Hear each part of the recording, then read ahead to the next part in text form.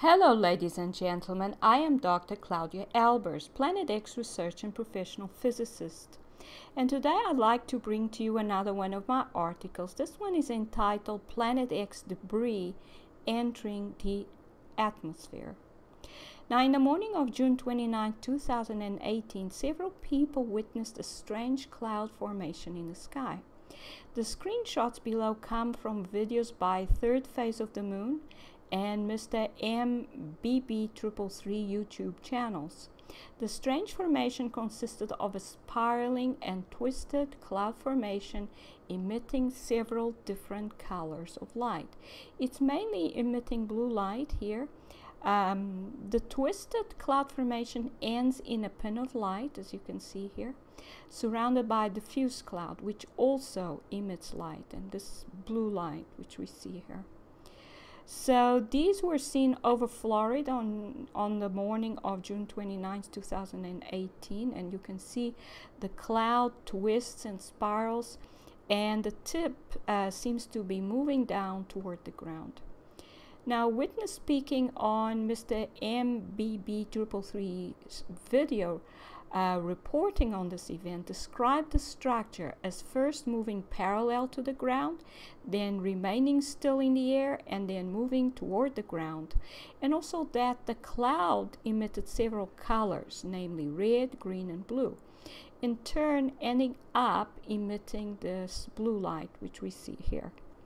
There were some reports that the structure was produced by a rocket launch, but yet no rocket launch was previously announced. Furthermore, rocket does not produce a cloud formation which remains in place for such an extended period of time, nor is it likely to emit the colors described. Rockets have been launched since the 1960s and have never before been associated with the appearance of noctilucent clouds or the strange cloud formations now being observed. A rocket produces smoke which quickly dissipates. It is obvious that the twisted cloud formation seen in the above screenshots did not dissipate.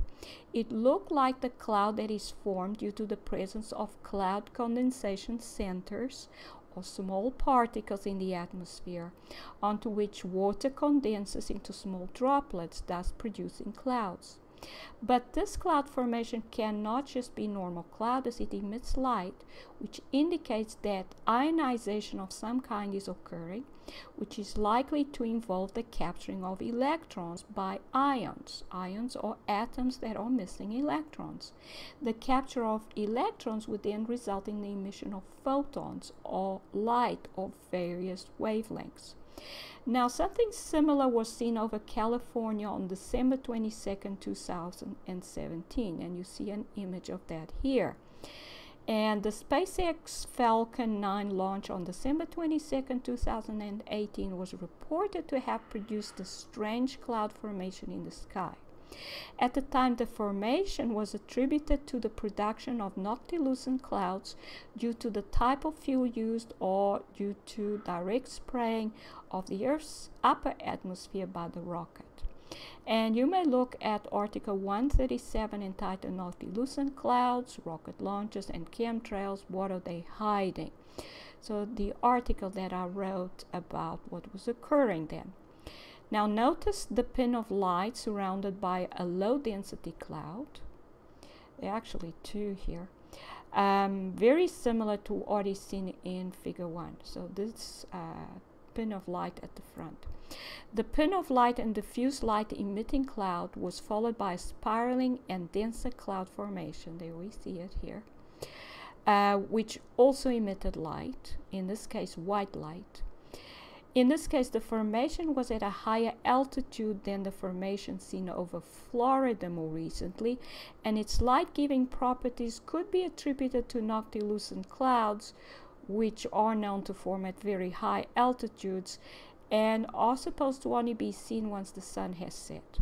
However, in the more recent event, the strange cloud formation has clearly formed at a much lower altitude, which is too low to be attributed to an noctilucent cloud formation, which is supposed to only occur at altitudes of 50 miles or higher. The similarity between the cloud formations suggests that it is due to the same phenomenon or type of object, but that the phenomenon cannot be due to noctilucent clouds that is now forming at a much lower altitude. The fact that the formation seems to be following the pin of light suggests that the pin of light is what is driving the formation.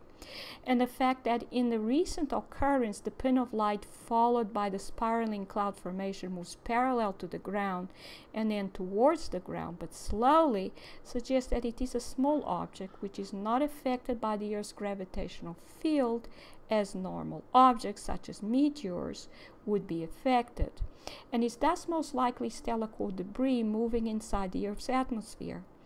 The object's interaction with the atmosphere must thus be producing the colorful spiraling cloud formation. This is cloud formation that is producing the spiraling trail behind the object and thus condensation of water droplets around small particles in the atmosphere. This cannot be smoke, as smoke would quickly dissipate and move upwards. This object is observed to move down toward the ground and the trail of cloud to move downwards behind it. This suggests that the object is drawing small particles behind it, perhaps a trail of very small stellar core debris, which is causing formation of droplets or water condensation in the atmosphere, thus creating the cloud effect. The stellar core debris must also be interacting electrically with atmospheric particles, absorbing electrons and emitting light as a result. You would expect stellar core matter, which is low in energy, to absorb energy from higher energy particles, such as what it would encounter in the Earth's atmosphere, through an electrical type of interaction.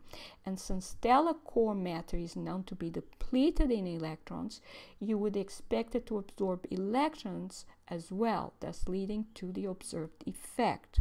And you may look at Article 184 entitled Stellar Core Evolution for more details on that and the state of electron depletion of this type of matter. So here we again see the strange uh, colorful cloud formation headed by a pin of light. We can see in this image in this image it will be uh, below here and this is similar to what was seen over California on December 22nd, 2017, but now seems to be occurring at a much lower altitude. In some of the images, you can actually see trees in front. Uh, the most likely explanation for such a phenomenon is that stellar core debris in the form of small object of a small object followed by a trail of dust entered the Earth's atmosphere. Now, noctilucent clouds were first observed in the Earth's atmosphere in 1850 and never observed before that time. Uh, and you may look at Article 146 entitled Planet X System Time of Arrival. This suggests that this signaled the beginning of the Planet X system of stellar cores first entering the solar system. It is also likely that these objects and the debris coming off them immediately started affecting all the planets as well as the Sun. It is therefore likely that stellar core debris started reaching Earth then, and that it was the debris entering the atmosphere that led to the formation of noctilucent clouds in the upper atmosphere.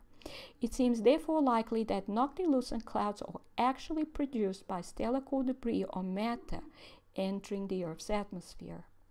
In conclusion, the strange cloud and light emitting uh, cloud formation uh, recently observed over Florida and observed over California on December 22, 2017, appear to be the result of stellar core debris in the form of a small object followed by a trail of small stellar core dust particles.